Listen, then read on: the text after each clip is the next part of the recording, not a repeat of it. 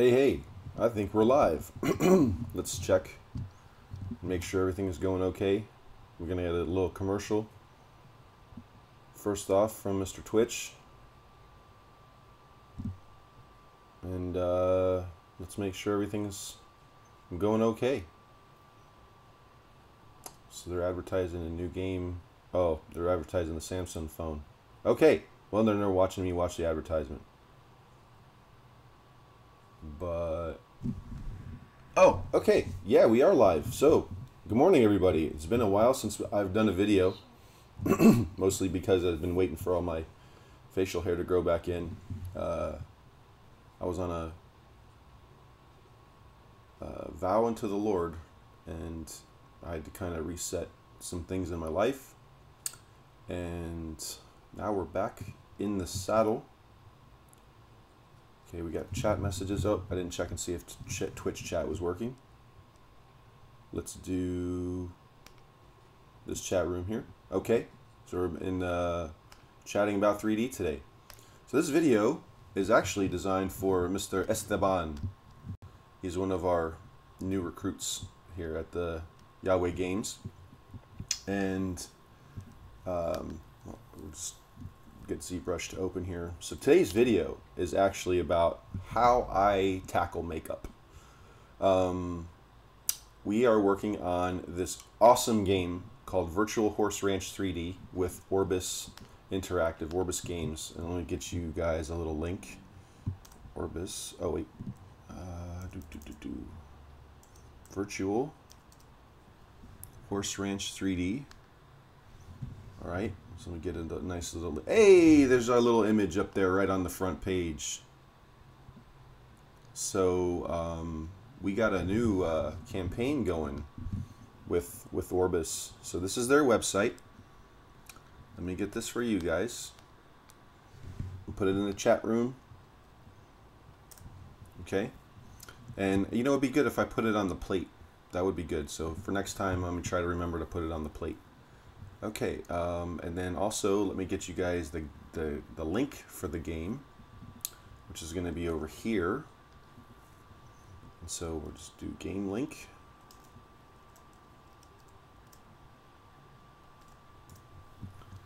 So Miss Cusick is an amazing, amazing client. So she's the owner of Orbis Interactive um, Virtual Horse Ranch and Virtual Horse Ranch 3D are her games. And we partnered up a bit, a bit of an alliance, eh? So we're uh, we're actually helping them with a new, upgraded version of Virtual Horse Ranch. And so one of the responsibilities that we are undertaking is that we are creating a new avatar. So it is a uh, like currently the way that the game is designed is that you can play as a horse and we are providing the players with riders with equestrians. So let's open our file here. Show you guys what our, our new lady looks like. Pardon me. Okay opening, opening. So I basically have, there we go, there she is. We don't have a name for her yet or anything. She's just Avatar 1. Uh, we have, currently in the mix, we have two different heads that we're using. One is older and one is younger. They both use the same exact UV coordinates. So what is a UV coordinate, might you ask? Well, a UV coordinate. So this is a, a 3D model, correct? So this is a 3D model and um, we are, this tutorial is designed, of course, how to do makeup, which is a 2D product, how we're, how we're painting directly on the character and we're converting uh, uh basically 3D space into 2D information. And an unwrap is a method which the program calculates how to convert 3D to 2D space. So um, just to kind of do an, a mini example here. So if we go up, I have two heads. You're currently looking at what we consider the, uh, let me let me hide the rest here. This is what we consider to be, oh, I'm actually going to need those. Um, this is the nude head, okay, or the the the barefaced model. Um, let me change the material as well so you guys can see more of the texture work that I have going on here. And so this is all paint, painted information. This is basically what the majority of the game sees. This is a Unity game. It is not an Unreal game, so we're not really going to get a whole lot of material information available to us right now. That's something that's coming later. And um, actually, this is the older version too because I touched up the forehead over here and I, I, I added some some brightness. But for the most part, what's going to happen is uh, I'm going to teach how to tackle makeup. And um, what we're going to do is we're going to go ahead and copy, we're going to duplicate this model. Over here is a duplicate button, okay? So what happens is we can remain uh, in, in, this nice template over here, like this is untouched. Um, and how do we, how do I know how to do makeup? I'm a dude, right? Well, I had a really, really great teacher. Her name was Monica Funes. She taught me actually how to do makeup. And then my sister, uh, Nicole Van Amburg, she is an esthetician. So she used to run a day spa with, with my mom in Florida. It was called Renew Day Spa. They, they were up and running for a very long time. And so between the two of them, they really taught me how to do makeup. And then, uh, you know, my friend Donna, she, she gave me like some refresher information so let's, I, I kind of want to tackle the refresher information. Oh, and then I forgot my music. So today's selection is actually coming from the soundtrack of Metal Gear Solid 5. And uh, there's going to be a couple times throughout the video I'm going to, like, like right now, I'm going to switch over to, uh, like, my game. I, I, I, I don't have my PS4 hooked up to my system yet. That's something that's on the horizon, but it's not a priority right now. So, like, right now I'm just uh, grinding and getting some money. And I'll be doing this, so like the next time I gotta stop is like 30 minutes from now. But man, might as well. I mean, it's like running in the background. We got some nice music going there. I picked up a new tape last night, so it'll hit in the playlist. Okay, and let's just check the audio levels and make sure that. Okay, I was making sure that the audio wasn't drowning me out. Okay, so makeup, makeup. So um, this is to be our template today, this uh, spring makeup template. But before we get to that, I do want to help like other people understand how makeup's done. So if I do makeup tutorial, okay, let it do the autocorrect. Um, and then I go to images I don't want to watch a video. Like, although, just to let you guys know, I have watched probably hundreds of makeup videos and just have an understanding of like how to do makeup because like it's so important that you know especially for dudes like for dudes like they have absolutely no idea how to apply makeup. They have no long how they have no long uh, no idea how long it takes for for women to like you know prepare themselves and like but th- these kinds of images right here are like the best examples of how makeup can be done, right? So Esteban, like this is the kind of stuff right here. And I'm just gonna grab this. I'm gonna post this image, copy image address. Let's put this inside the Twitch account. Hey, whoever's taking a taking a watch, thanks for joining. Um, I'm gonna go over to Discord for you, Esteban, and uh, I'm gonna title this one "Makeup for You." Okay, and then do this again. There's one image for you.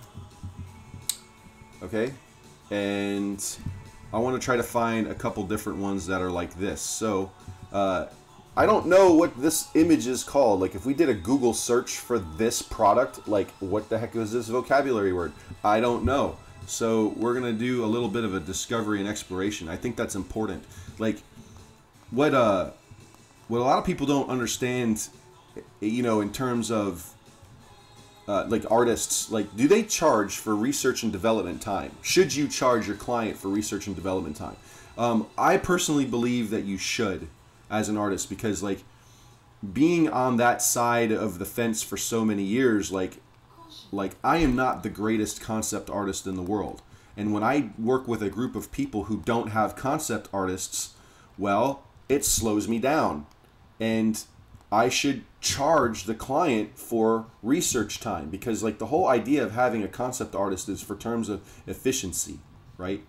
And I know that a lot of uh, business people are gonna be like, oh, you know, that should be on the artist. The artist should know. Um, you know, I can see both sides of the fence as a business person. Um, makeup tutorial. Um, let's try adding. Uh,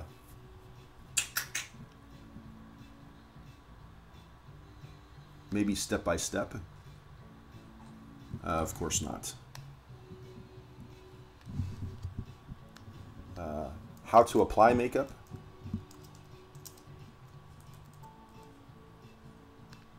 How to apply, that's funny. Makeup.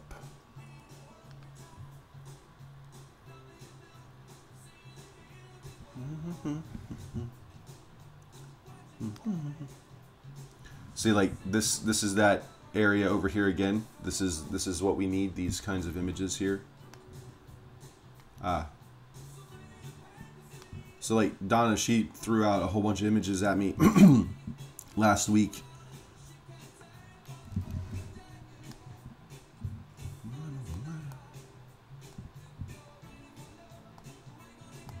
All right. So I know it kind of feels like we're burning up airtime, but you know what, guys? This is like real life crap. So like this is why I did this tutorial. There we go. This is really, really great. So let's grab this link over here, copy image address, and we'll paste it in the Twitch window. Okay. For you guys to have. And then we'll go jump over here back to Esteban.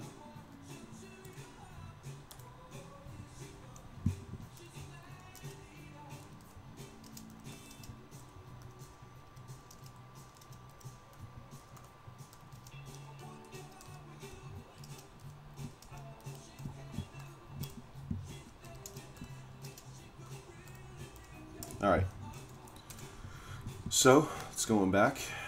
Um, what else do we got? There, there's another good one. Really, really good. Whoops, I mean to do that. Copy image address. Okay, let's get this over to the public.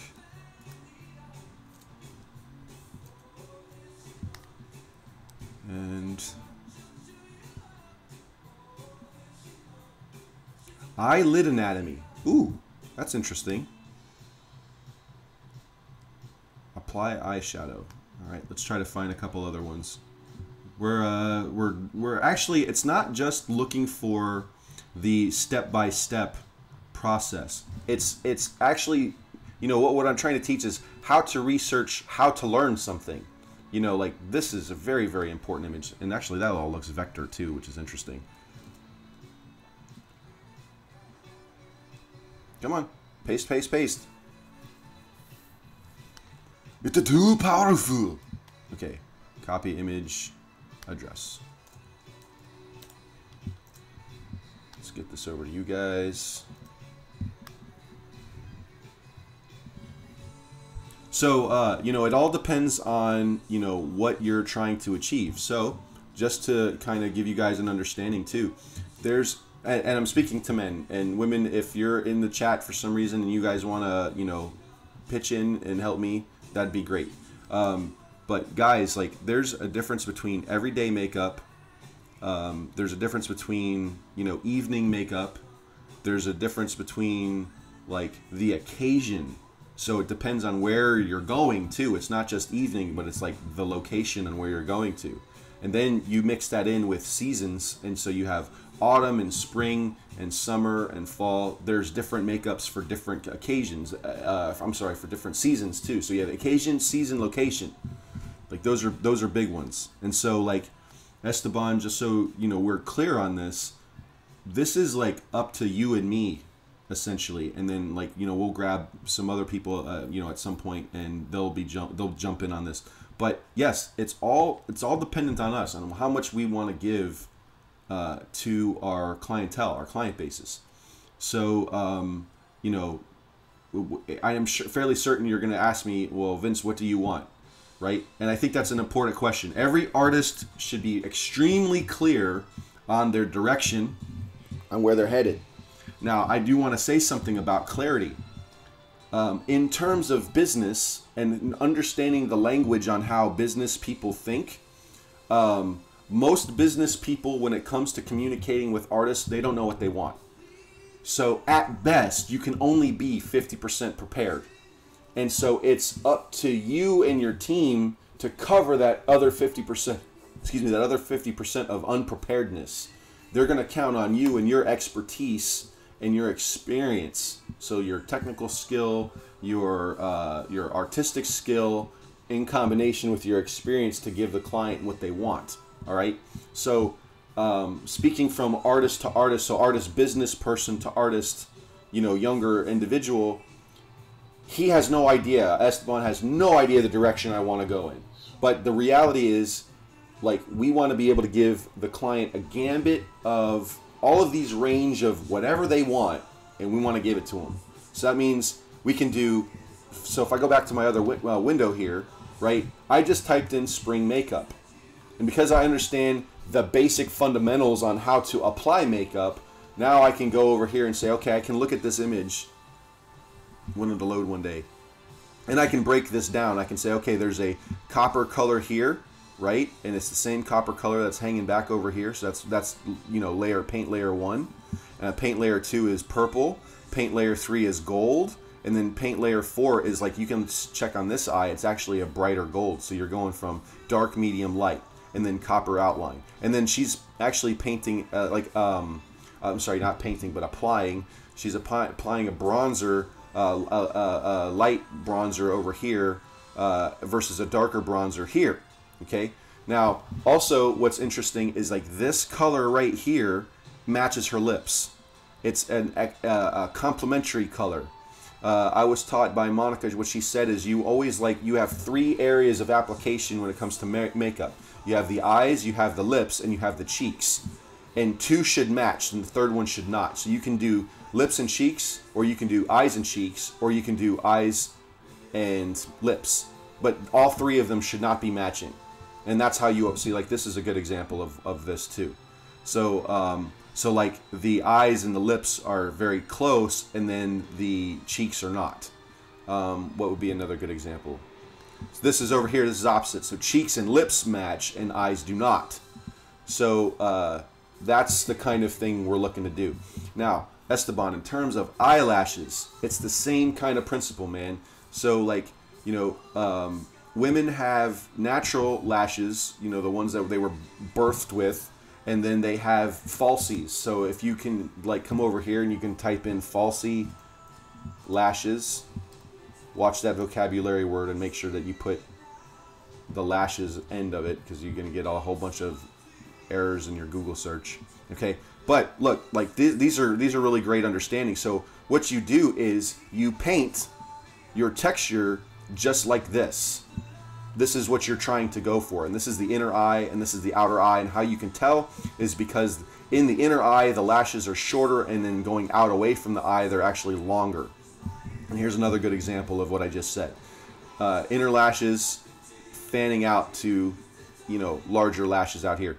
And then so just to let you know, Esteban, what what what women have a, tendency to do when applying falsies is that they'll you know, apply them to their eye, and then they'll add mascara. And then the mascara will um, thicken the lashes even more. And like, when do most women go and put these out? It's usually when they're going out at night. This is like more of a nightlife kind of thing. Or if they're going on the way, like if they're in business, you know, they'll actually have a different type of falsies for their business. Uh, so um, I don't think you can actually type in la- uh, you know falsies, lashes, business, or everyday maybe. Everyday, everyday false lashes. Yeah, that'll that'll, that'll work. And you know, like here we go. This is probably a little bit more closer. And as you can see, like it's it's much thinner. Okay, uh, they're spread out a little bit more evenly, uh, and you know the the idea is not to look like you're seducing your coworkers. It's just like you know, here we go. It's like everyday kind of stuff. Um, when do women do this? Like so, just in my observation, I've noticed that like whenever I walk into a business office, Uh, you know, the woman at the counter.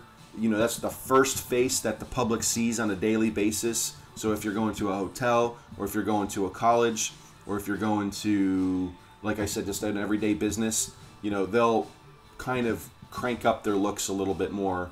Uh, even some hostesses at a restaurant, you know, they'll they'll do the same kind of thing. Um, is it right or wrong or indifferent? Should should a woman be doing this? Like that's a you know that's a I, I bring it up for like the, you know the Yahweh Games uh, you know audience. Like when it comes in terms of uh, like some people are modest in their makeup decisions. Some people don't wear makeup and some people do. Do I feel like it's right or wrong or indifferent? I always think it depends on the motive. Like I think that's like ground zero like changing the topic, moving away from video games, and just having this you know discussion about morality and stuff. It, it always depends on the motive. Like if like why why are you doing this? Are you doing this because it makes you feel more confident? Are you doing this because it helps boost your self esteem? Are you doing this because you know it helps you move throughout the day? I don't see that to be a problem. Like you know everybody has insecurities and everybody has personal issues. Um, I would also like to say, like, if you're feeling that way, maybe ask the question, why? Why do I feel, you know, non non confident? How come I feel like I need to have to do this? I think those are important questions. Um, I think that you know the the more society progresses, I think that women have a little bit more freedom to choose. You know, like like I've seen Ellen from the talk show Ellen. You know, Ellen De, uh, DeGeneres, right? Uh, I've seen her like with makeup and I've seen her without makeup, and she she does like the everyday makeup thing like like a normal like almost like all the time. And then sometimes she'll dress up and sometimes she'll just not, you know, and like she's confident in who she is that she doesn't have to do it to please other people. She does it because it makes her it's it's fun for her. You know, at least that's that's how I understand it because the kind of personality she is, it, it she doesn't need it to enhance her personality. She just is the way she is. And so, like for for women, I, I would say like you know you do what you need to do to make yourself feel confident and secure. But I also think that you should be asking the important questions and hard questions like why do I feel insecure? Why do I feel this way? And try to tackle that root root issue. Okay, so let's like get back into doing the gaming aspect of stuff. Hey, what's up, third person? Who's in the chat or who's uh, doing the observation? Um, okay, so you know we have. If I go back to our spring makeup, the reason why I brought up the doing the lashes thing, Esteban, is because of this image over here. This image is kind of cool, man. So like she's got like really like hot magenta pink mascara that she's applied, and notice that this mascara, this pink mascara, is not on top and bottom you can look closely and you can tell there's like a very um, light kind of purpley pinkish tone in her mascara down here but she's not using this bright color. Like i would take note of this and as a matter of fact just so you're aware uh, i have a uh, running library of makeup examples. Like um, and just per project i have a tendency to uh, to put you know my reference per project in this you know in the same thing. And then when i'm done with the project i'll copy all of this stuff over to my master folder.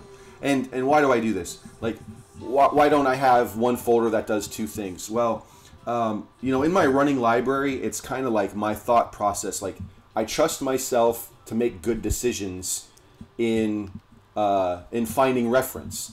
And so you know people post brand new images every single day, and uh, you know this, you know, posting this kind of stuff.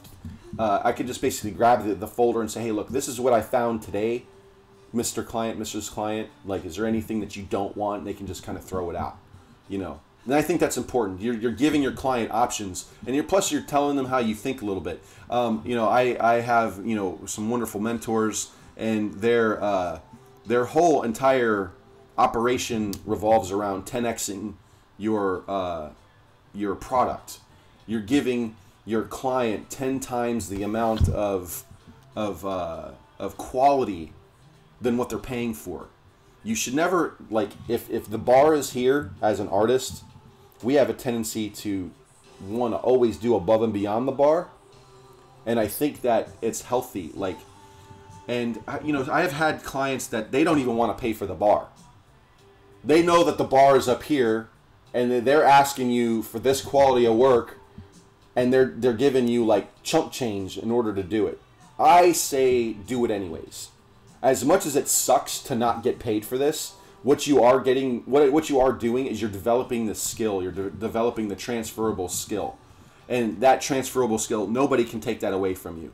So I would say, you know, just suck it up, man up, woman up, and and if your particular client right now will not pay for this 10x, you'll get another client later on who will. They'll value you. They'll understand how you think. They'll understand how you make decisions.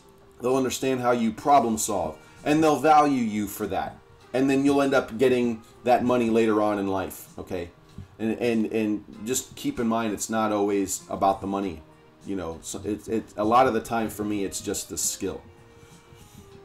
So um, you know, I really I really want you to now switching back to the makeup conversation, Esteban.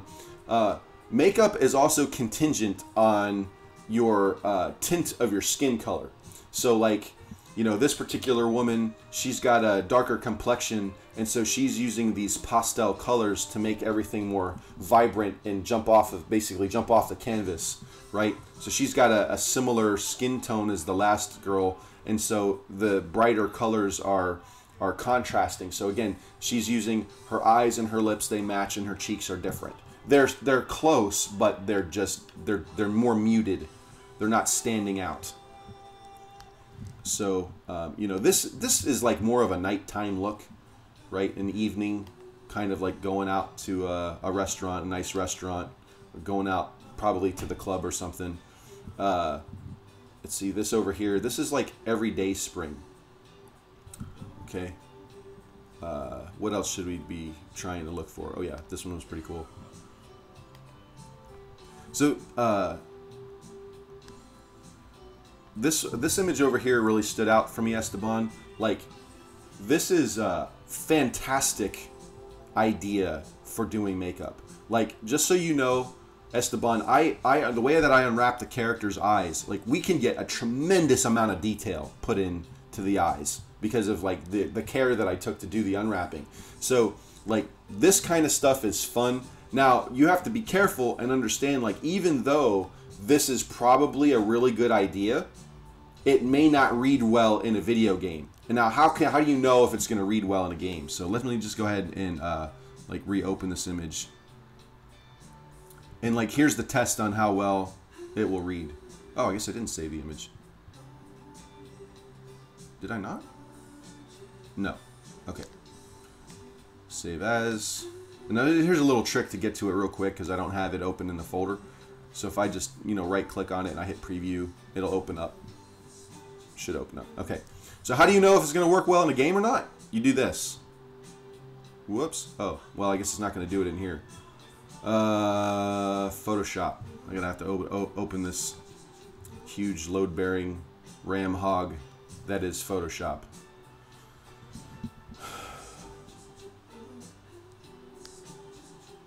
Alright, so while that's opening,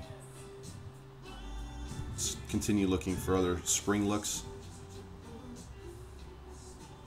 Um, try to also look in the description, okay? Like sometimes the description will tell you, like even though it, it's coming up in this what we consider this uh, springtime Google search, it actually may not even be for springtime. So just be careful in the recommended. Like this really feels more like autumn, especially with the way that the, the, the glittering is happening here. This feels more of a fall autumn type of look. Um, and like this is this is more springtime, right? So let's go ahead and add this. Now also uh,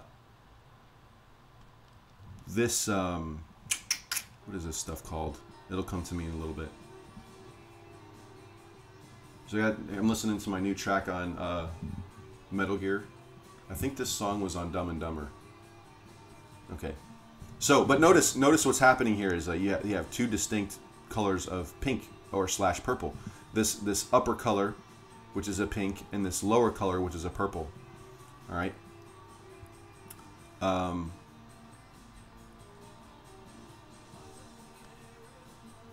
Yeah, this is a, I think this is a dumber, Dumb and Dumber track. It's called uh, Friday I'm in Love. I gotta tell you guys, if you guys have not played Metal Gear 5, like, oh my god, this soundtrack and like everything in the game. Like, I had this really great conversation with our guy Chris Horn uh, a couple days ago, and he was uh, asking me about it because like he he really wasn't wasn't sure about whether he should play it or not because of that that whole Kojima situation. Like, I promise you, because of the ending of the game, it's a Kojima game. Like, there's nobody that could have done what he did and said it was you know from another another writer. Like I don't believe that at all. Like I know he co-wrote with with it, but this has got his thumbprint across the whole entire thing. So if you guys haven't played the game, you really need to. Okay, so uh, so just as a little trick, I don't know if you guys knew this. You know, I know some people did. So like for example, if I go back to that image, now that Photoshop finally opened, and I you know right click and I do save image as, you know, it'll access this address bar. You can actually like click and drag the image and you can drag it down as long as your program's open. Hold it there and it'll load and then drop it in. And then you can and instead of trying to have to navigate to the product, it'll open up. One day it'll open up. Hey, open. There we go. What the deuce? Oh, okay. Don't make an idiot of me, Photoshop. Okay, so if I, how do we do, how do we know if it's going to read well in games when you do that? So, like, honestly, like, and, and why am I zooming that far away, right? Is because, like, you have to take into consideration when you're playing as a character, you know what you're really looking at? You're looking at the back of their head the whole time. Most of the time, you're really looking at the back of their head, and, and, and you know the avatar itself is more like a uh, a mental kind of thing.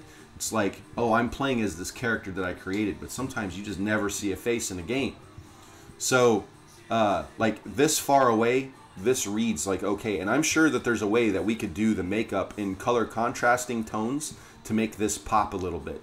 And you know, there are very rare occasions where, you know, and in this avatar creation system, there will probably be a time where we zoom in on the character's face. Like if you look at Monster Hunter and you look at the way that Metal Gear does their uh, their avatar creation, I mean, you kind of get up on the face and then you can kind of see this, but it still has got to read well from a distance. You know, if you're talking to an NPC and they're this far away, like you know, you can barely even read what is happening on her eyeball. Like look how look how magnified this area of her face is, and so this reads well but again, her face would have to be like that large on the screen in order for you to read that other image. Okay, so you got to pick your battles. Is it a good idea? I think so. And uh, I would just say, just make a different head for that kind of makeup.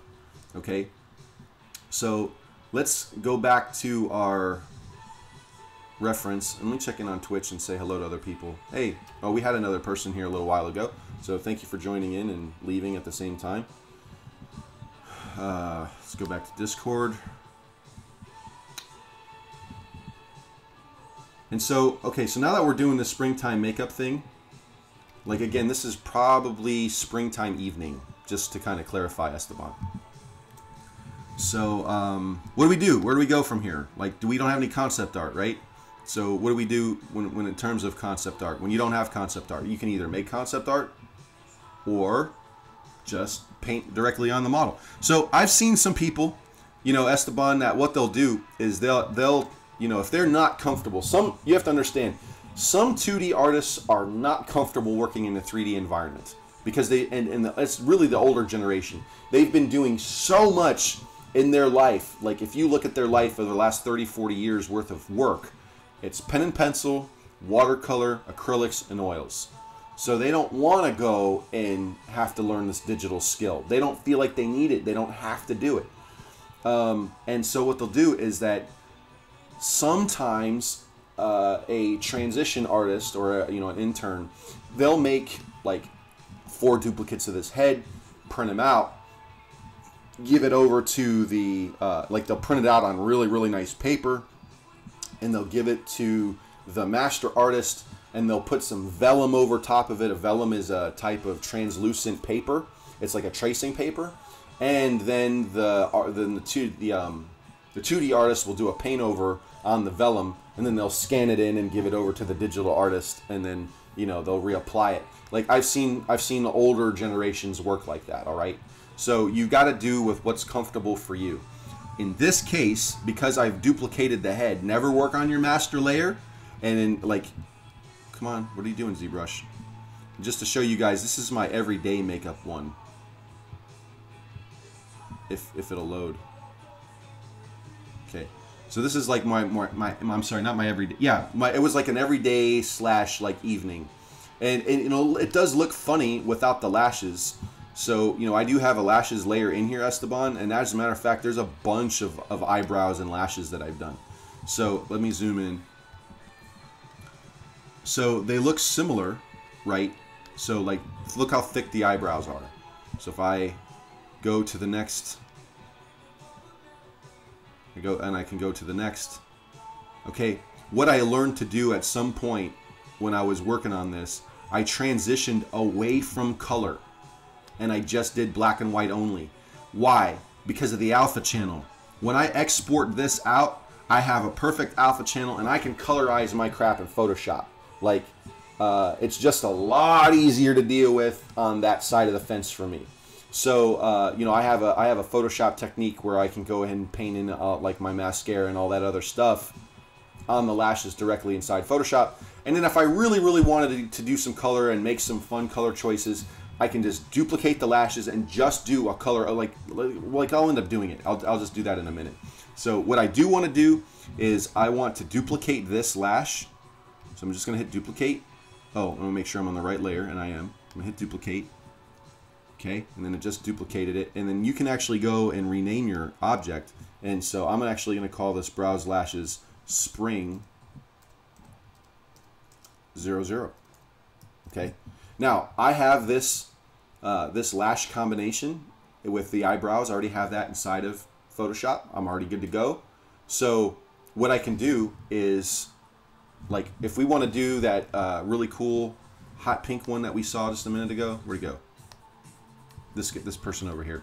This makeup set's pretty awesome, and I can I can kind of guess that her lips or her cheeks are this color, right?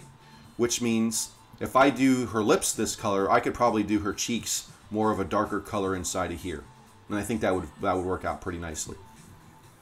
So uh, let's so how do we deal with this, these lashes, right?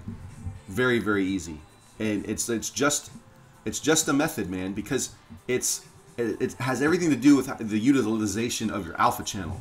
So first off, if we want to paint color, we turn off Z add and we get into RGB. And I'm gonna hold my shift button down and turn off, you know, my smoothing Z add too, because I don't want to I don't want to remove any of the the bump information. And just so you know, Esteban, uh, these lashes are I was painting them with both Z add turned on and my RGB turned on. So the, these actually have height map information baked into it. So let me go grab a pink, something around there. It's really nice hot pink. And what I want to do is um, I want to you know start painting in here. And yes, I am overwriting my old color. I don't care because my alpha channel and my my primary image is what I care about. So when whenever I paint Esteban, uh, this this is and this really goes for anybody who's really wanting to learn how to actually like paint in 3D space. You want to use what we call a field color expertise. So currently this is my what we consider my F2 color. This F2 color is my field 2. And so the rule of thumb is whenever you paint anything, you have a darker color, a lighter color, and a field and, and a midfield color. So this is my midfield, and so if I go lighter, it's it's not white. I'm not. Let's see if I can open this up.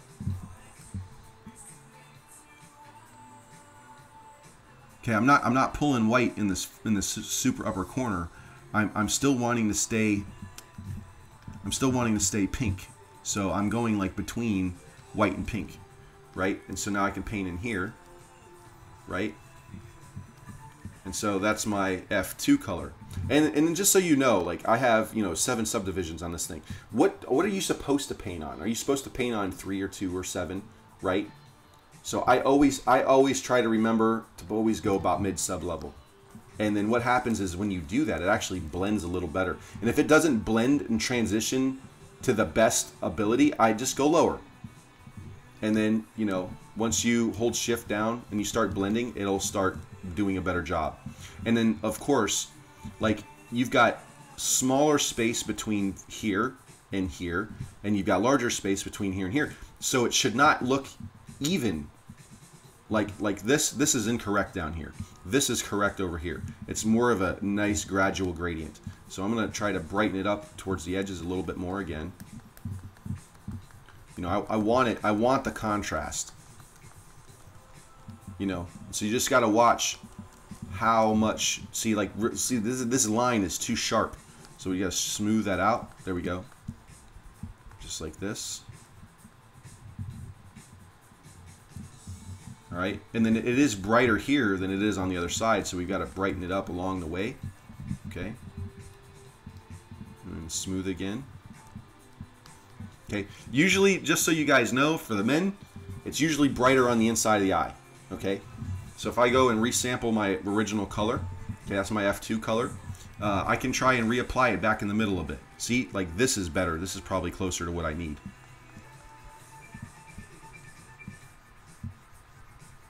Okay and then smooth. Right? So there we go. And then now what I need is a darker color. So I'm gonna pull in this you know this wine really rich wine color. I'm gonna go right in towards the eyeball here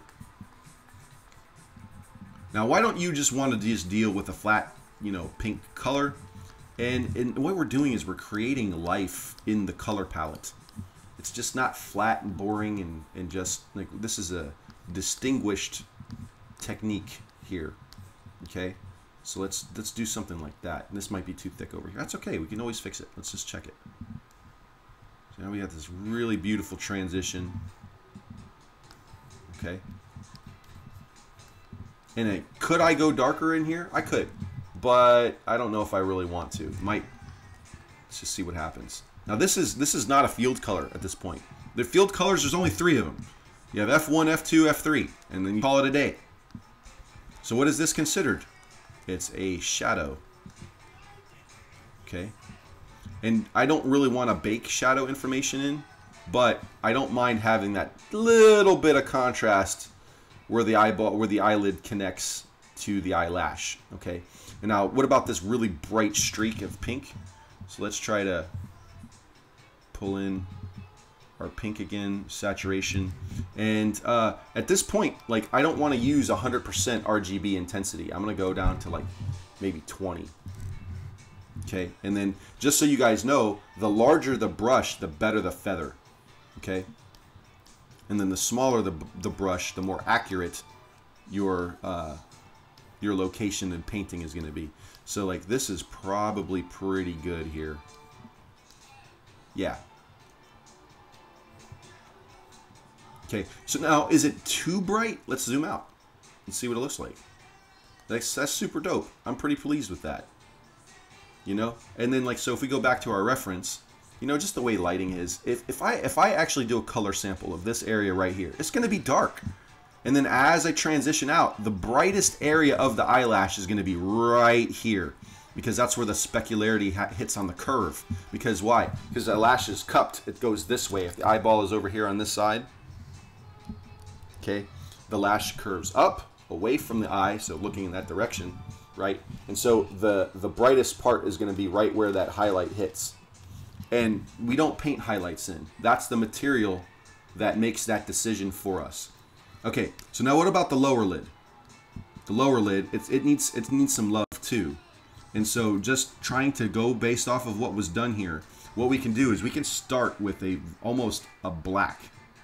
Now, I still have color information in on this swatch. There we go. That's what I was trying to do earlier. I have color information, so it's red 57.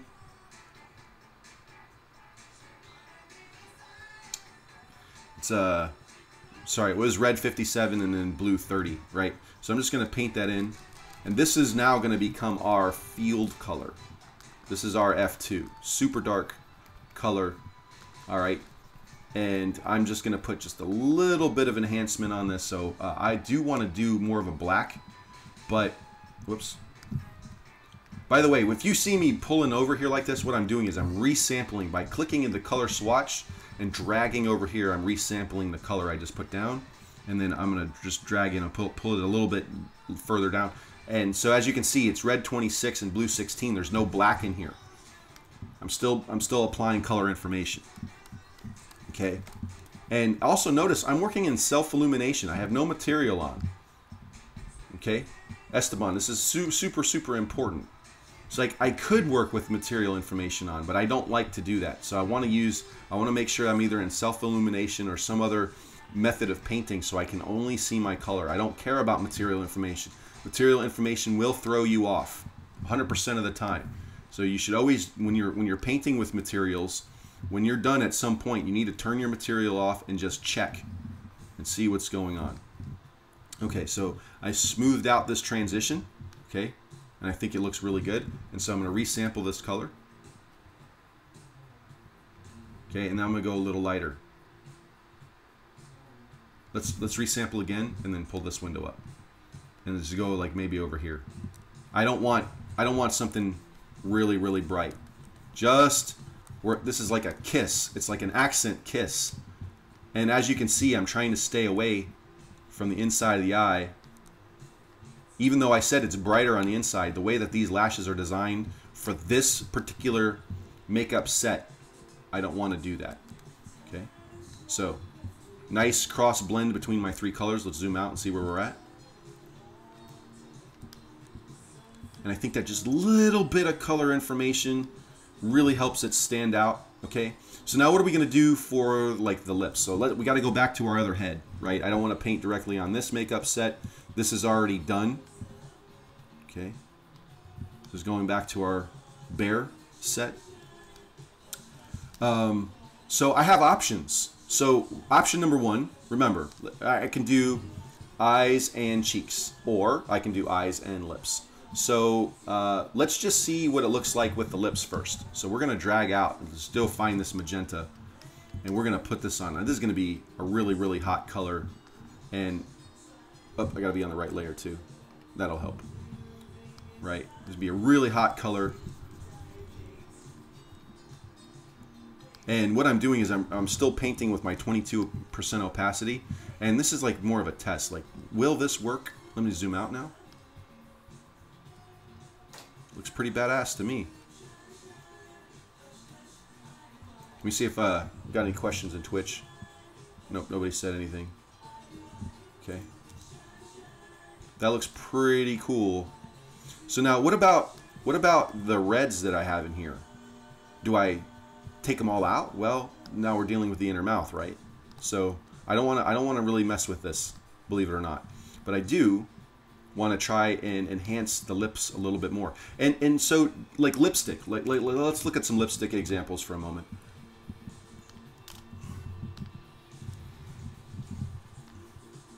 For example, this lipstick is not a blurred edge. It's stenciled. It's like it's like really like perfectly outlined. Like if we're looking at things in terms of a coloring book, right? Even these lips, they're in the lines. There's no there's no feather blending. This is type of feather blended, okay? Fe feather blended lips. And you can do this look. This is there's nothing wrong with this. You got to pick your battles. Like this one over here, stenciled. That's that's what we're going for in this example. And I think that this eye makeup in this color probably works pretty well. Okay. So how do you fix it from being a feathered brush to a sharp brush? you can uh, hold spacebar down and change, you know, this is the draw size and then your focal length, right? So now the closer I put that in there, like that, it's going to be super sharp. So I just want to make sure I, right? And then of course, how, how else will help is if I turn the opacity up on my brush, right? So, and again, what about painting on the subdivision level, right? I actually didn't ever completed that lesson with the eyelashes. So let's go back. I completely forgot I was still on subdivision level 4. So, you know, I don't always have it all together, guys. Uh, if I go back to the eyelashes that are on, which is right here, okay? Now, I don't appreciate ZBrush in this regard. I'm on subdivision level 3. If I export my texture out like this, it'll probably have a pretty nice gradient to it. But I want a better result. And so if I go up to subdivision level 4, now it's bringing my old information in, isn't it?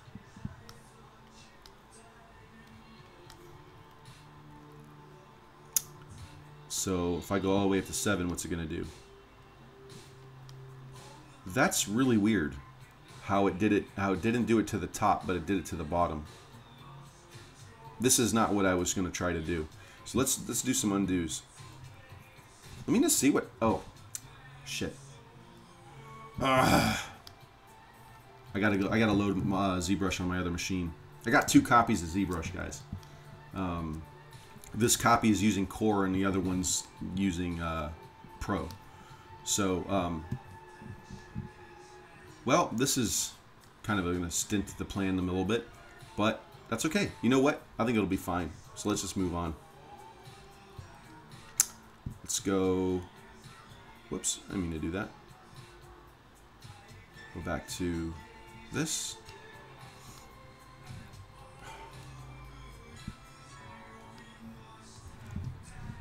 All right, let's go cut down. I can still do that example here.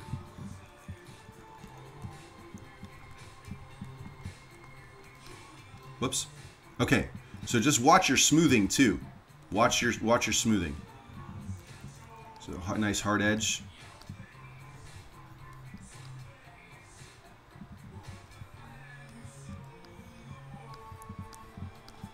Now, uh, just to let you guys know, men, some women will tint the lip different. The upper lip and the bottom lip. It's a tint thing. Okay, so just be aware that that happens. So, like, I know, like, just for example, down here, her lip looks darker. And so the question becomes is this actually a darker lipstick? Or is it her ambient occlusion that's darkening her lips? And I think the answer is you got to look at your reference across the board. So, like, for example, her lips are like, man, this looks like acrylic paint right here. Is how heavy she's put this lipstick on. See how they're the same tone? Now look at the darker area here. See how dark this is? This is this this level of dark is her natural shadow on her contour of her lip. Same thing with this one. It's darker over here in the crease because of her natural shadow. This does not feel like shadow. So I would opt to say that it's darker lipstick here and she feathered out her her lipstick even even up in here just a little bit, just a little bit. So, and then, but here's an example of, whoops, here's an example of what I was saying in regards to tinting your lip differently, upper and lower. Let me, uh, let me paste that in there for you, Esteban.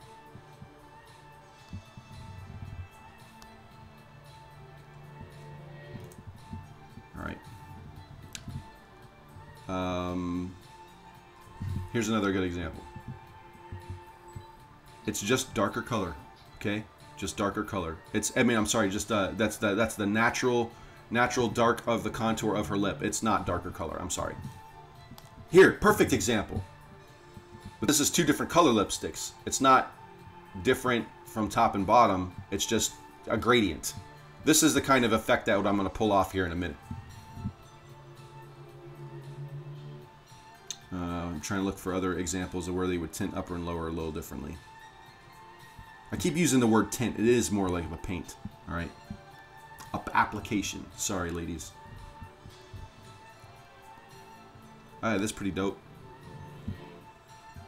Let me put that in there for you too. Whoa.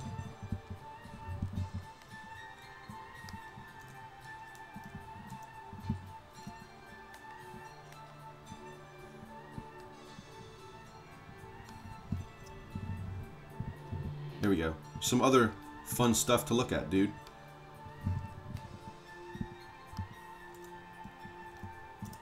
I remember uh, women in Florida because I used to live on the beach. I remember some girls would walk around like with this kind of makeup style, very kind of surferish kind of look. Okay, uh, let's move on. I'm, I'm I still got other things I got to do today. Okay, let's go back to ZBrush. so let's zoom out. Now it's probably too hot, and as a matter of fact, the, um, the in the way that the composition of the makeup is working, I'm more drawn to her lips than I'm drawn to her eyes. So how we combat that is we've got to turn down the saturation value here or crank it up here. That's got to be the way it's going to be.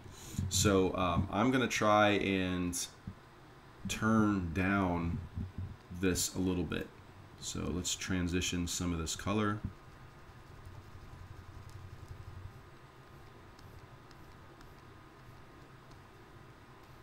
Really nice and gentle like.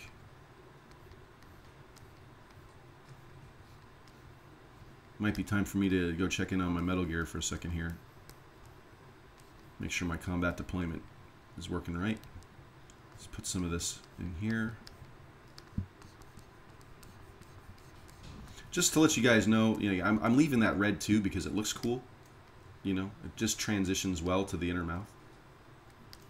Okay. And then, um, you know, instead of using this super saturated pink, I'm going to go a little lighter and try to outline the lips a little bit more further with this lighter color. Now I understand this is probably a bit of a no-no, but when we reblend it in, it'll probably make a little bit more sense. Okay.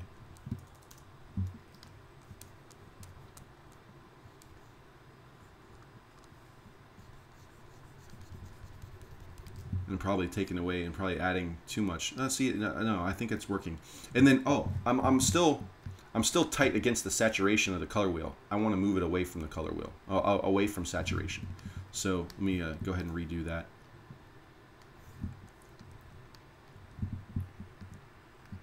Ooh. Let's move it over here. There we go. That's what I was wanting to do.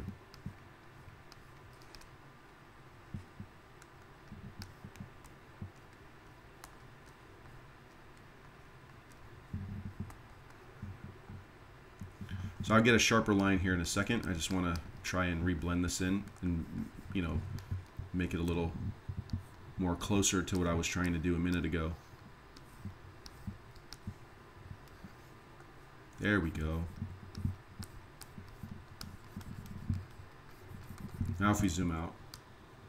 Now the attention is back off of the lips. Just by turning the saturation down, the attention is off the lips and back onto the eyes. Okay, and that's that's the point of this really intense makeup, okay? Let me pause this for a second, check my combat deployment. Yay, I was successful.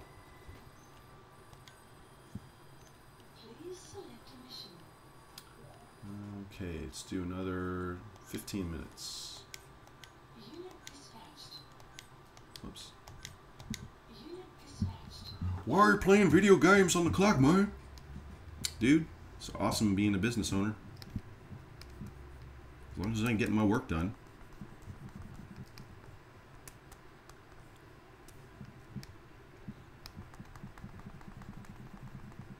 So notice what I'm trying to do here is I'm trying to brighten up the middle area now, right?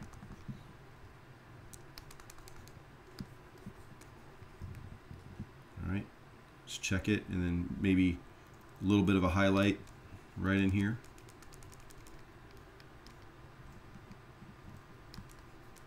Them little details, man. Okay, and then brighten up the middle over here.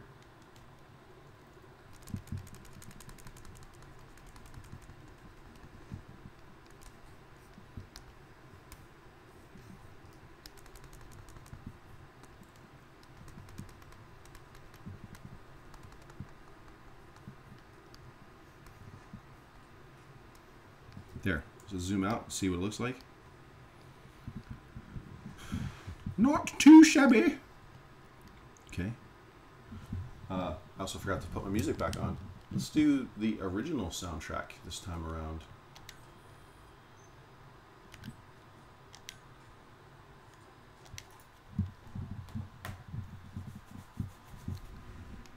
Okay, what about color bleed? Right? So we have, you know, really bright areas at any point would any of this information bleed back onto the uh, subject's face because of bounce light? Yes. Yes, it would. And uh, it's something to add maybe a little later. Well, I'm going to make sure that I get all the the um, the um, the blush and the I think it's I don't want to say mascara. Crap! I got to go back to my vocabulary words.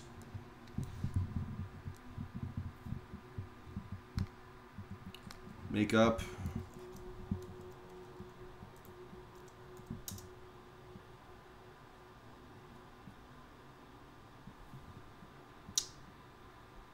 It's not a brush. It's vocabulary. Let's just look that up.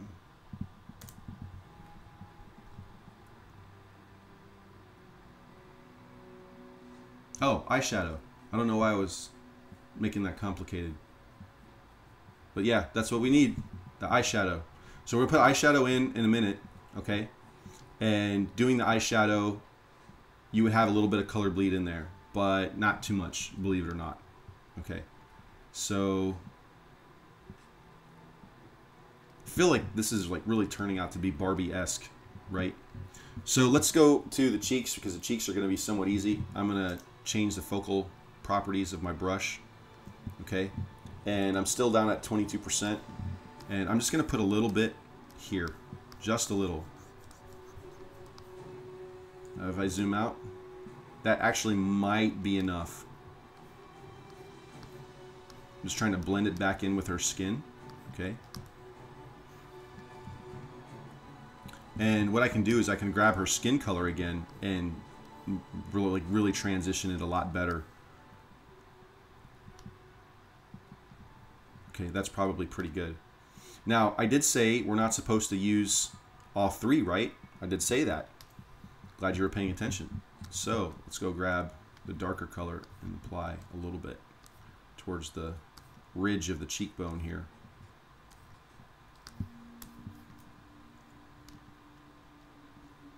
it's the, the, right right here in this in this part of the conversation. This is what we consider um, a complementary accent. It's an accent. It's not supposed to pull your eye away and say, "Hey, look at me over here." All it's doing is it's it's it's arcing. It's pointing back up over here. It's pulling down over here. It's a composition type of thing. Okay, so um, you don't want to you don't want to overdo it. You don't want to oversell it. So let's go ahead and bring some of the skin tone back in. Okay. So it should be just enough that people know that it's there, but it's not detracting from anything. And I think that's probably pretty good. Yeah, perfect. Okay, eyeshadow. So let's go back to our reference. So she's using this.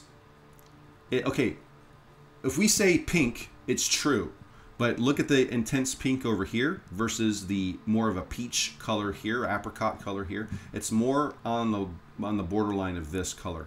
So what we're going to do is we're going to add a little red to our pink tone, okay?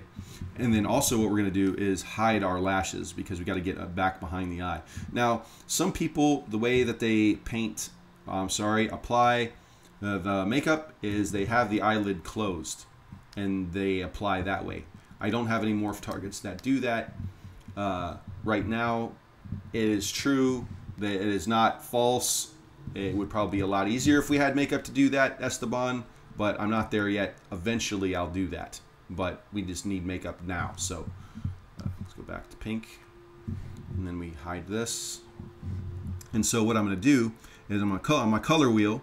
Okay, I'm going to move up towards red and now I've got this super saturated red color and then so I pull away about there and now we can see what it's going to look like.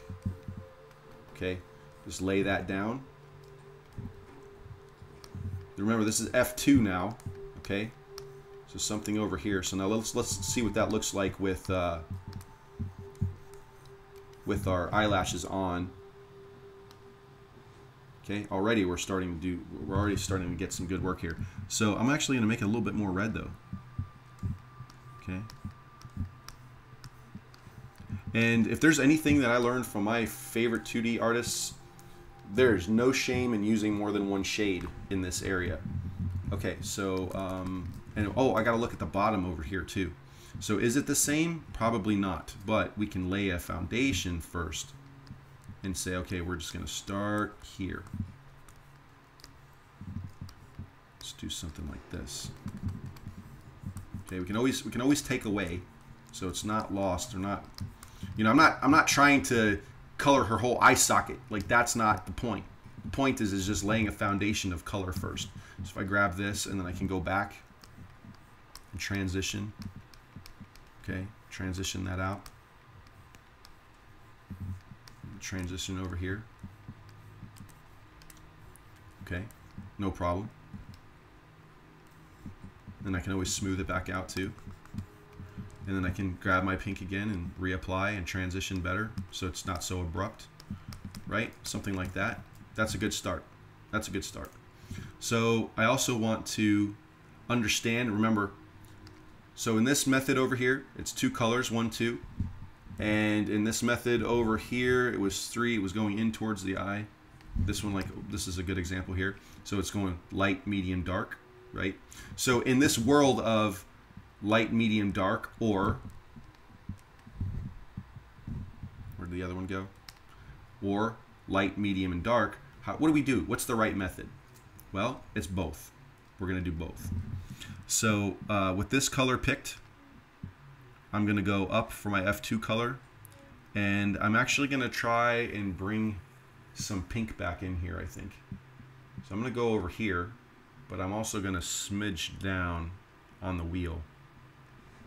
Okay, and we're going to see what this looks like. And what, where am I aiming? Right above, so it's not center, it's right over here, right off center.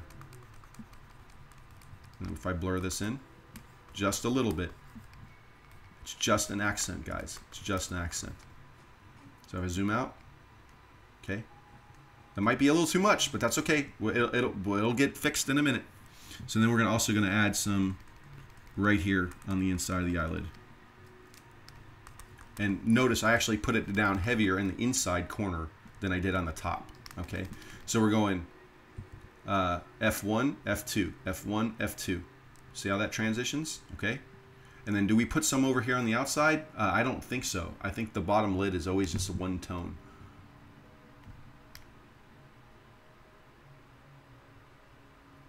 Uh, I could do it underneath.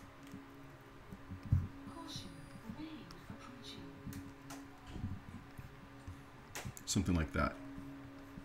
Not heavy. Whoops.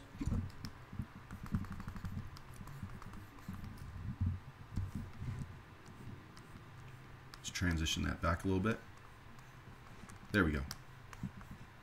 So it's just it's just subtle. It's there, but it's not there.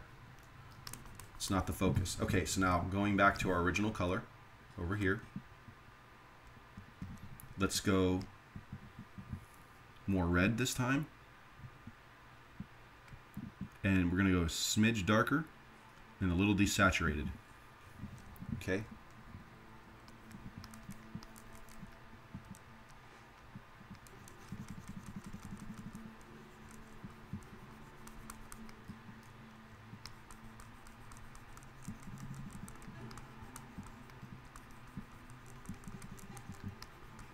So what I'm doing is I'm, I'm drawing, I'm, um, I'm, I'm applying this makeup and then I'm smudging. So if I zoom out, now you can see like there's this that little bit of darker tone that's in there, okay? And then the same thing, like right underneath the brow, you know, the brow over here, we're gonna apply that in there too.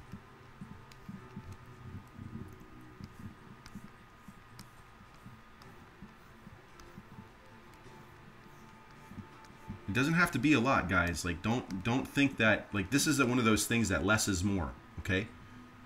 And so now you can actually see I actually have three distinct colors happening here. I have one, two, three, okay?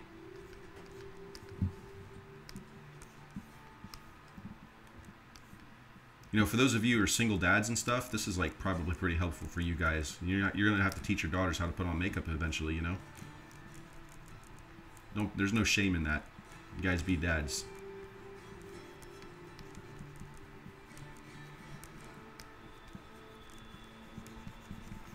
Okay. And I'm gonna I'm gonna come in. I'm gonna kind of redefine the brow lid a little bit with this, just for better contrast. You know. Mm -hmm. Oh, if we zoom out, look at how that pops. And we just transition. Just you know, grab the original color again, and then we transition. Transition back. Okay.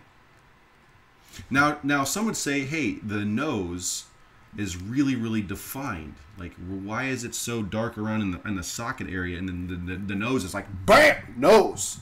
Right? So, like, we just transition again.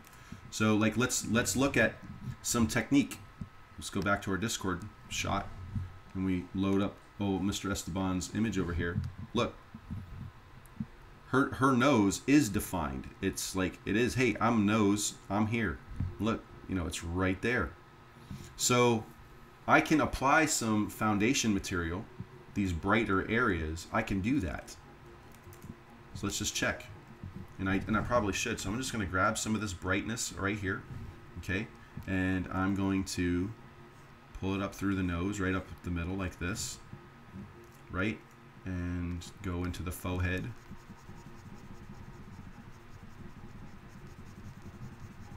Doesn't have to be a lot. And then just blend. Blend, blend, blend. Uh, how to blend? Again, it's uh, shift and then uh, apply. And actually, that's I never noticed how bad my focal part of the brush is right there. Let's do that.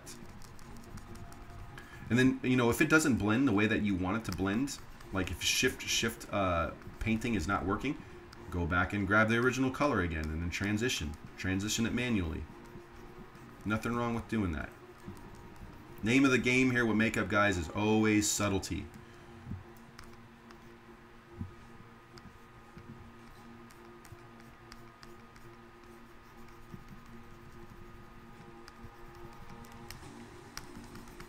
And so, like a little, little bit of a rule of thumb, the forehead area should never be brighter than this area, this ridge area. Okay.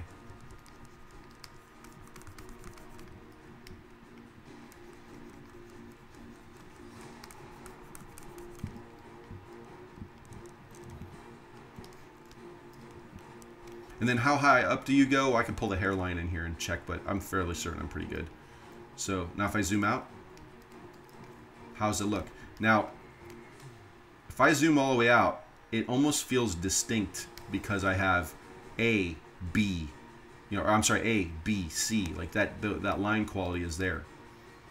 But, you know, you don't see that kind of thing in a, in a woman's face. You don't see that def definitive, so you got to blend it, bend, uh, blend it in better.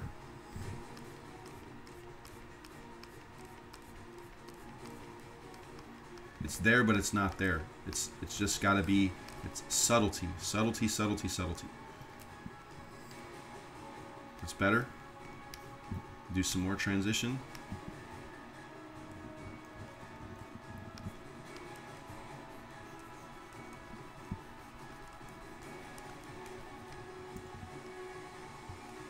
There. That's probably as good as I'm going to get it for now.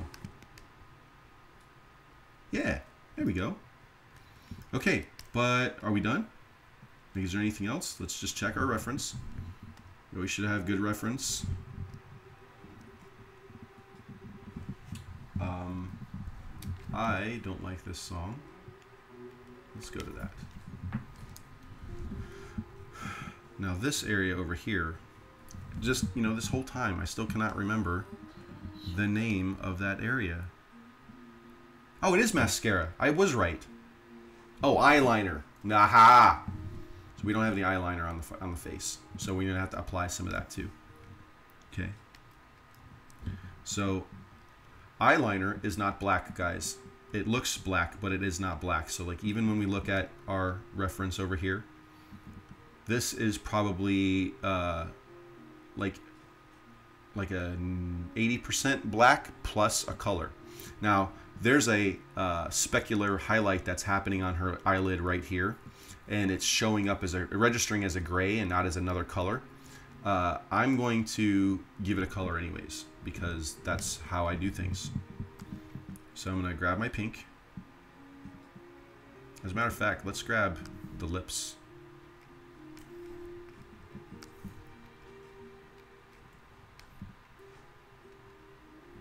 Okay, and then what we're going to do is we'll go darker.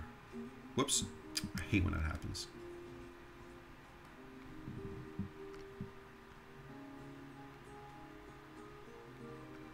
Okay, somewhere in there. And I've got to change my focal area on my brush and make it a hard brush again.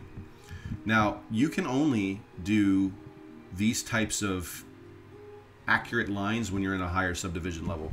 So here's the hard part about dealing with ZBrush. This was I was trying to explain with the um, the eyelashes section. Okay, when I go up my subdivision level, I'm to zoom in a little bit, but you can see that there is very very soft transition that's happening.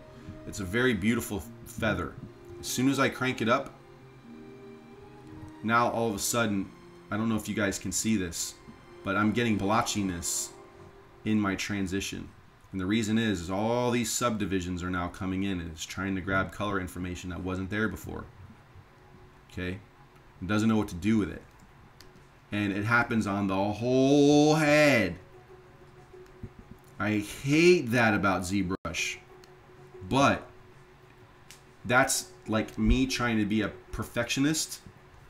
But we have to remember the human person is always imperfect. Okay? So, if I crank it up again, now the blotchiness is like almost extremely visible. Okay? So how you deal with this is you paint on a mid subdivision level and you go up and soften. You go up and soften. And what do I mean by soften?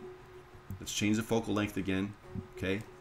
And then I'm gonna zoom all the way out and I'm gonna I'm gonna go I'm gonna start on the head first over here. Not that this is important because like all of this is gonna get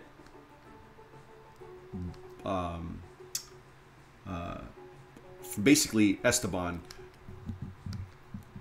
Everything from there back all of this area is gonna get knocked out in Photoshop. Basically everything we just want just this facial section you know like that much. That's all we're, we're really looking to do, okay?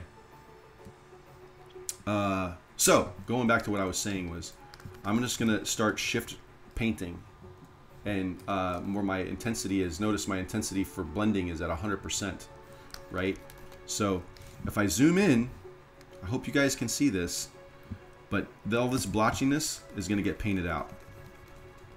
Now, is it true that these imperfections are going to affect my texture? Yes, it is. So, is it better to paint on the highest subdivision level or to use my technique? This is, now, Esteban, this is a more directed question towards you. Use my technique, okay? Uh, there's a reason why I'm doing it. I have learned that these imperfections actually enhance my model. I feel like it brings in a more of a human touch because it adds a blotchiness and a randomization to it where it wasn't wasn't random before. Okay, so even going in transition in the lips. Hopefully you guys can see all that, but I just painted out. And you just guys have to watch when you're shift, you know, painting around all of this stuff don't screw up your transit your uh, your your hard outline over there. And we're gonna I'm gonna still gonna fix that on a higher subdivision level too, by the way. Okay, just get all this. And by the way, I am mirror painting. I never said that in the very beginning, but I ha have mirror uh, polygroups. So whatever I paint to one side, I'm painting to the other side automatically, right? That should have been evident, but this is like more for the that that was for the younger audience.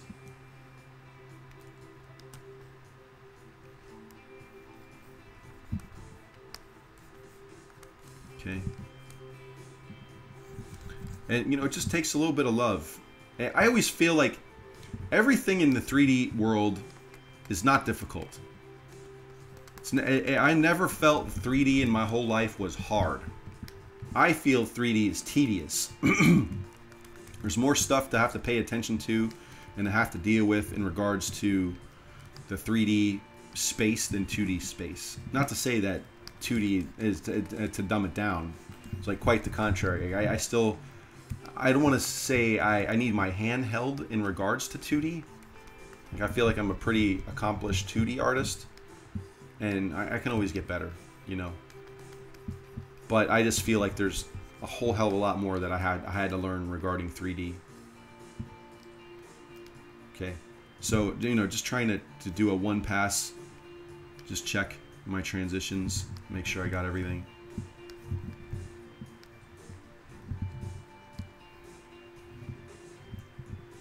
I think that's good. Okay, and again, you know, I'm not really too worried about the neck or the back of the head. So what I'll end up doing, Esteban, is like when you give me, when you bounce out your uh, your texture map, I'm gonna end up doing my own Photoshop work to it anyways. This is like the stuff that I really need for the face. Okay, so uh, you know that's subdivision layer five. So let's go up to six, and then it's gonna blotch it up again. So guess what? We got to paint it again.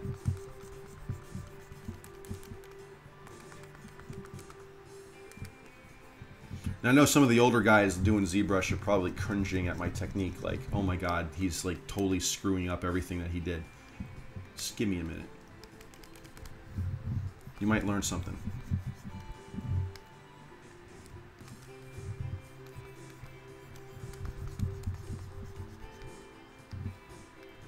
So, uh, you know, one thing that I didn't discuss with you, Esteban, or you know, for the for the dudes, like, what about foundation?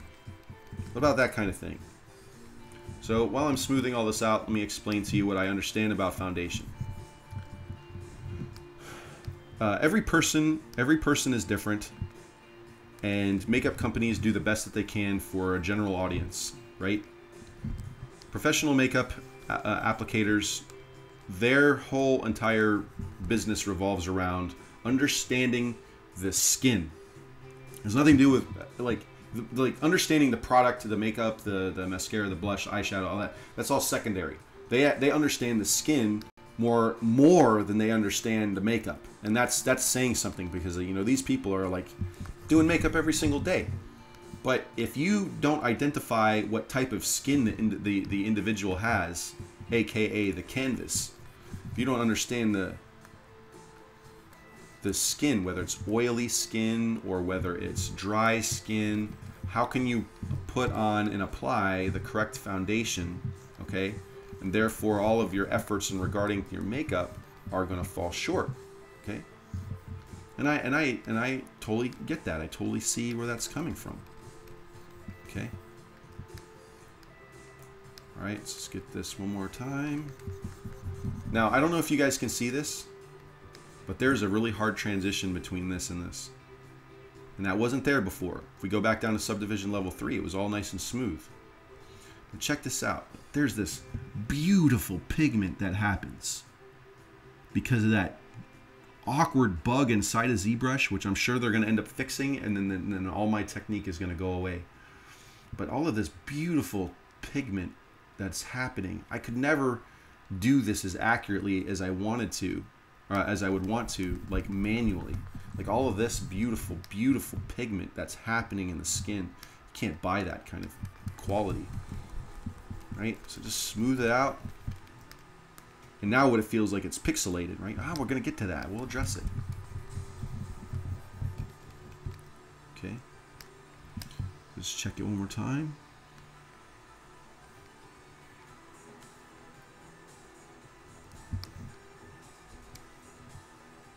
Mean, it almost has like a subsurface kind of technique to it. So now what we do is we just grab this, drop our intensity to the like 15, and we just start transitioning tighter, right? Perfect. Just blend, blend, blend, blend.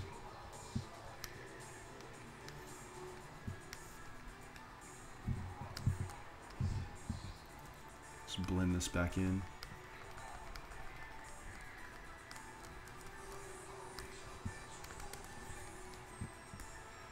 beautiful.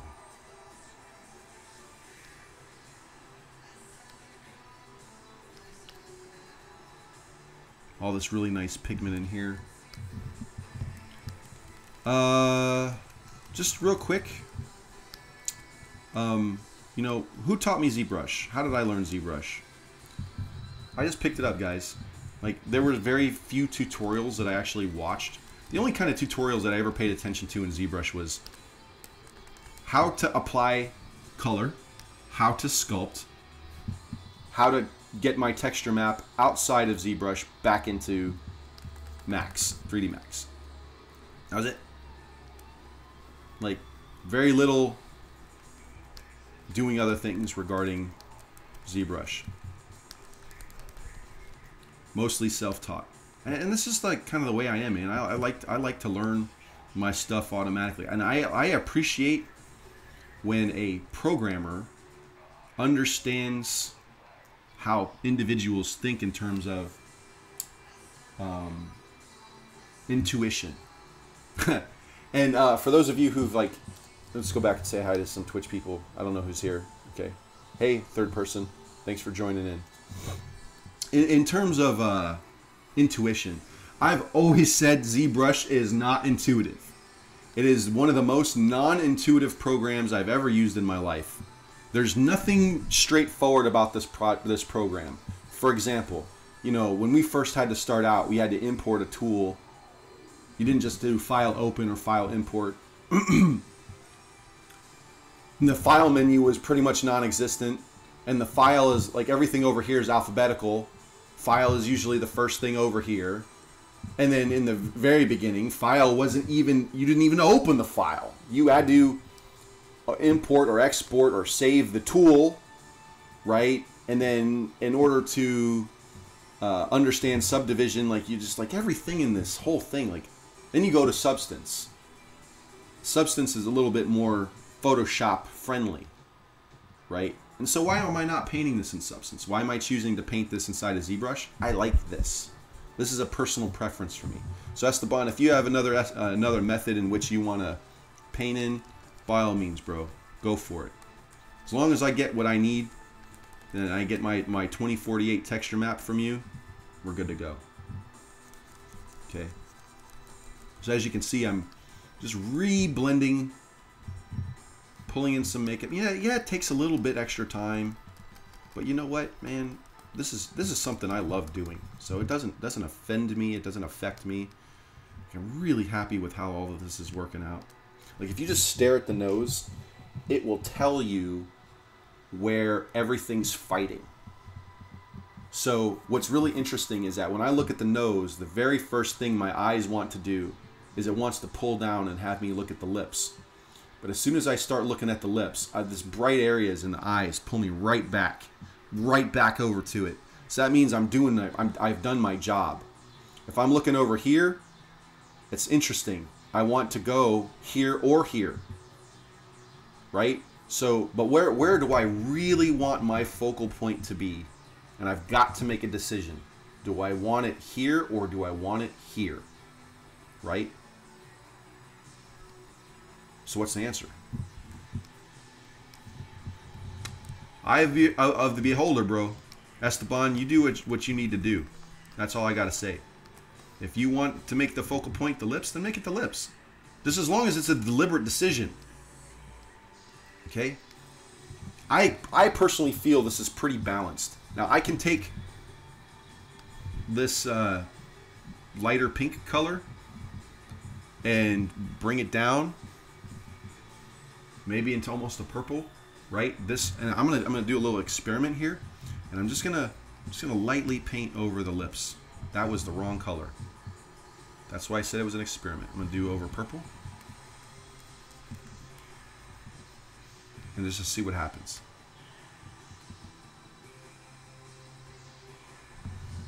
So edit redo. Edit undo. Let's look closer. Stare at the nose. Edit redo.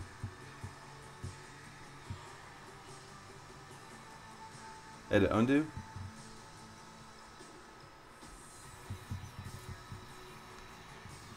You know what I, I we need to do is almost a, a blend between the two. So let's try that. edit, undo, edit, redo. That's it. That's the right one. So when I'm here, immediately my eye gets pulled. And when I'm down here, my eye gets pulled. When I'm over here, my eye gets pulled. This is where I want the focus to be. I want it to be on the eyes. That's my decision. So now what we're going to do is we're going to clean up all of this feathered garbage on the lips. So instead of taking a pink color, I'm actually going to grab the skin tone, like here. And then we're going to change the focal brush, change the draw size, and re-outline the lips. Told you guys we'd come back to this. And as a matter of fact, let's grab this. Whoops. This this area right here is a little brighter. And that's okay. Let's do that. Transition. Okay. And then we'll just clean this up over here.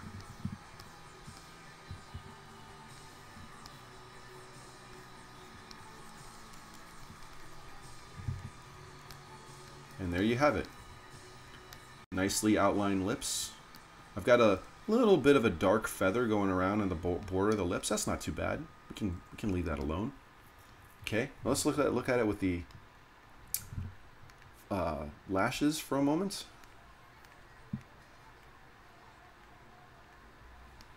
Make sure it all fits together, and I think that it does. We have this nice bright spot in here. Can't wait to see what it looks like inside of Max, though. And that's essentially it, Esteban this is this is my this is my first springtime look. And then uh, I'll have to do a little render for promotion a little later. But for the most part, I'm very happy with this. And I just got to trust my technique on understanding the alpha channel to make sure all of this blends out well. Um, she kind of feels like she got a mustache a little bit, so I'm going to stamp all that out. Let's change the feather and focus. Make sure I'm selected on the right layer, which I am. Okay.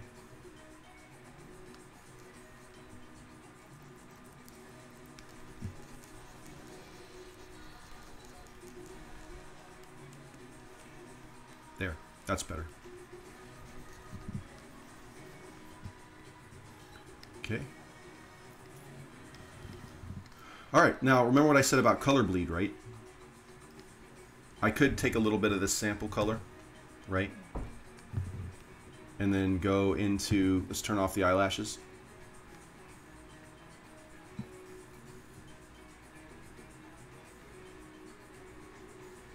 Okay. And let's just, with my 10%, let's just put a little bit in there. Something like that. That should be enough color bleed for me. And what about the pink on the lips? It's a different color, right? Put just a little bit on the nose. Just a little bit.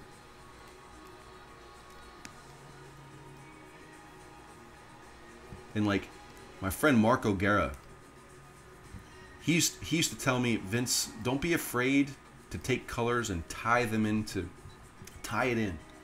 Don't be afraid to take a little bit over here and put it in an area where it doesn't seem like it should be. He's like, you just can't be afraid of doing that. Like over here in the temple area. Right?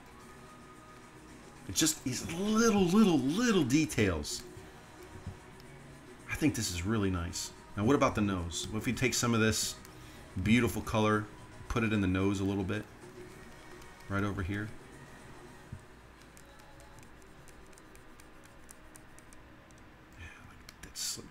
Really nice. This is super subtle, but it's like, look, right here. I'm going to do before and after. So edit, undo.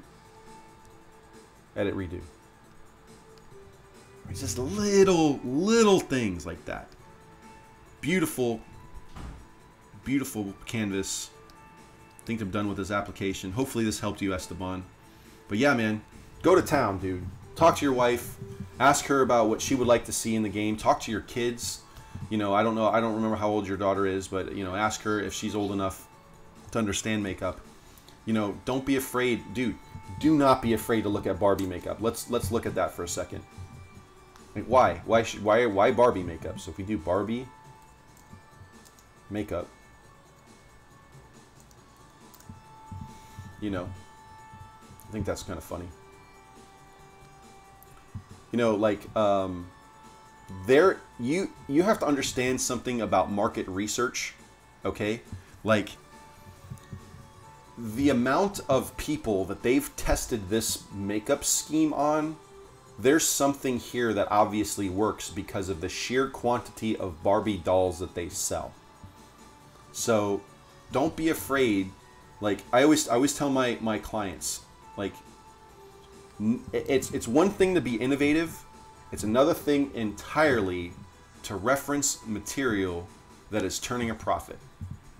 I know that kind of sounds like a sellout thing, but again, I'm not the type of artist that uh, for me, it's not look what I can do. It's look what I sell.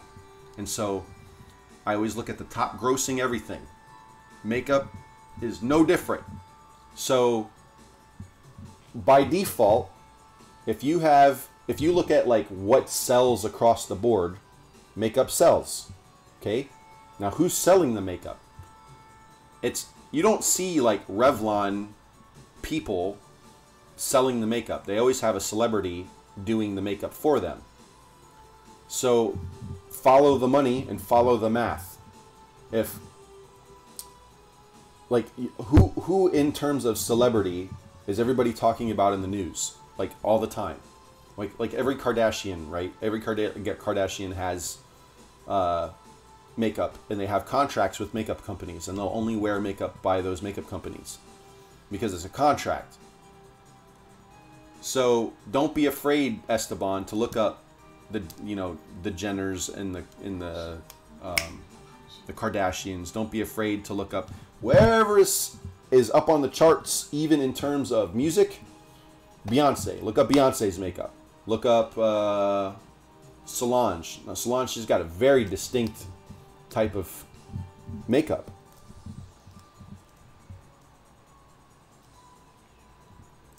It's funny. It even came up in my selection. Very distinct.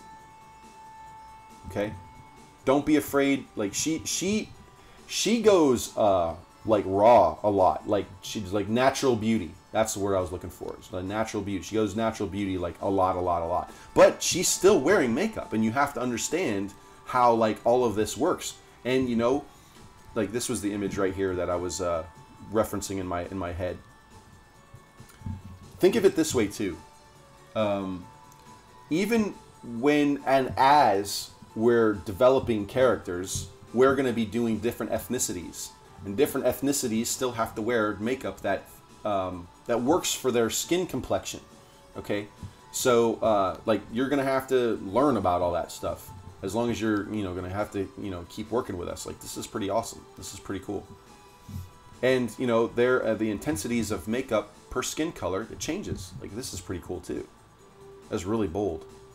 But again, the law of thirds, right? So this is accenting this, and then she's got a really subtle thing here. So it's like pulling you around. This is pretty cool.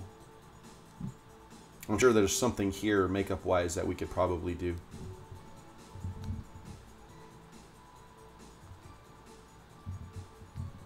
That's pretty cool.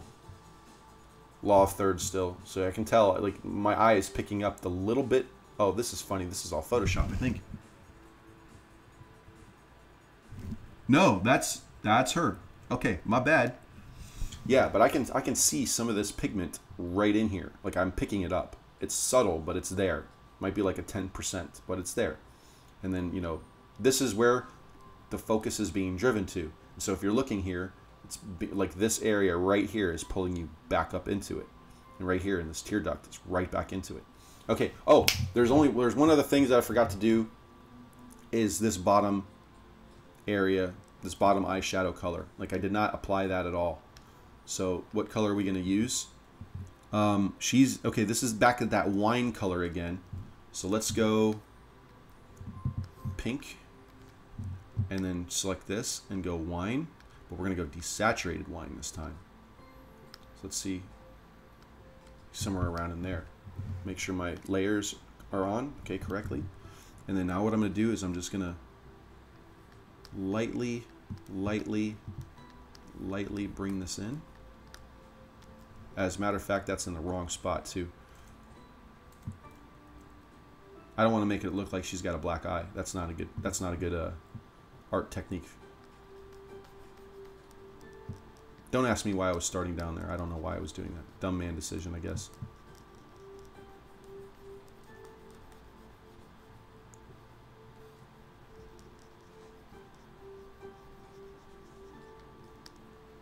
Okay, now if I zoom out, that's much better. Let's just transition this area a little bit better.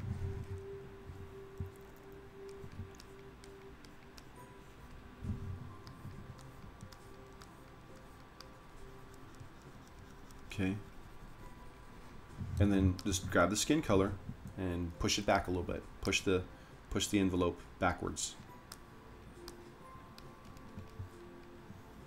Push pull technique.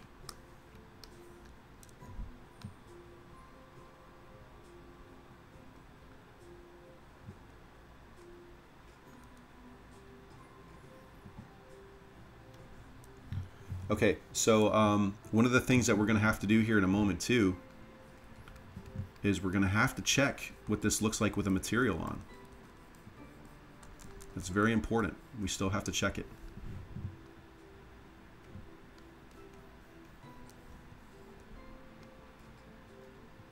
Now, uh, just to let you know, Esteban, I screwed up a while back and uh, just with my sculpt and I didn't give a definitive eyelid in my sculpt, but I didn't care because my I had a definitive eyelid inside a Max, and I was very much in a rush when I was trying to get this model out. So uh, it was just like some sometimes I bypass techniques because of final product. Okay. So what I'm doing is I'm, I'm looking at where the actual eye line is for the mesh is concerned. So it looks like there's a lot more here than there actually is, but you know the, the, the truth is is that this area right in here is painting on the inside of the eyelid. Okay, so just watch it, and we'll be able to check it here in a second. Let me repatch this again. There we go, something like that. Let's check it out. Let's look at it with the lashes on. Yeah, there we go. And so, like, you know, I know this really looks stupid with this color fan here, and it's like, well, Vince, how do you know that that's going to work? I have to do it. Ready? Imagination. Had to do it. Uh, I know. I just experience.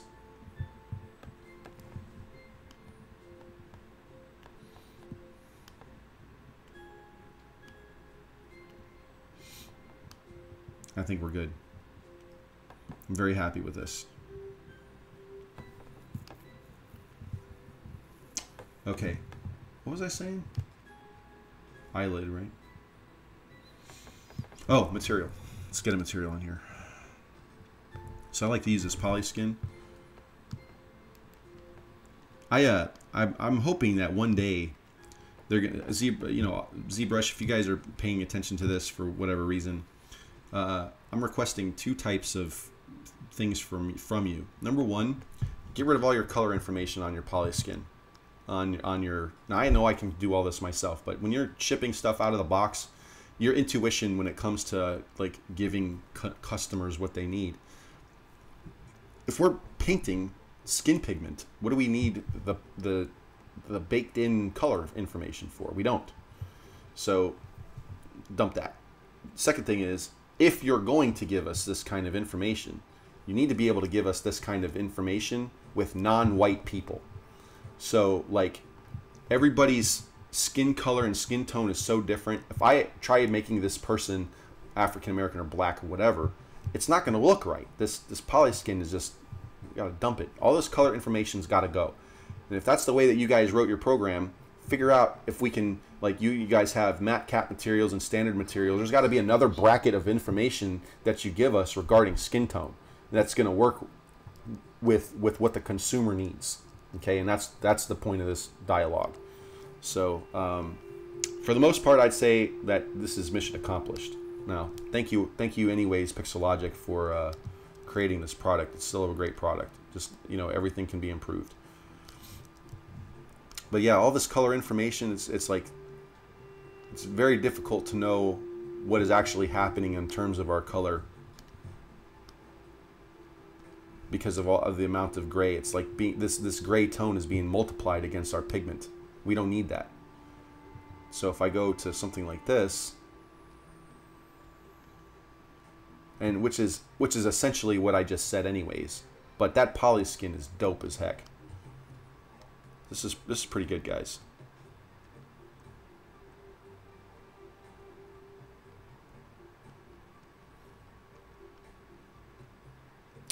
And there you have it.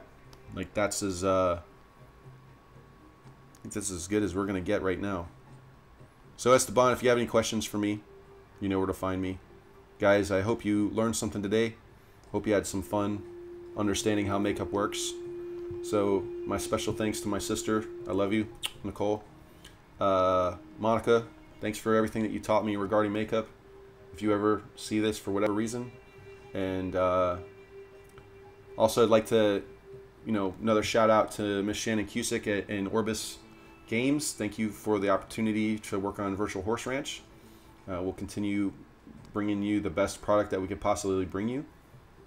Um, when? When do you guys get to see this game? Well, the game's out. So if you go to Virtual Horse Ranch 3D, again, if you go to the link, I'll give you, read, post the link again. Copy link address paste. Okay, that's the game. Um, so you're just basically waiting on our update. The we're working on it. I can't I can't say when. I'm not I'm not supposed to. It's not my place. But it's coming soon. I can tell you that much. That is absolutely happening. And uh, shalom, shalom.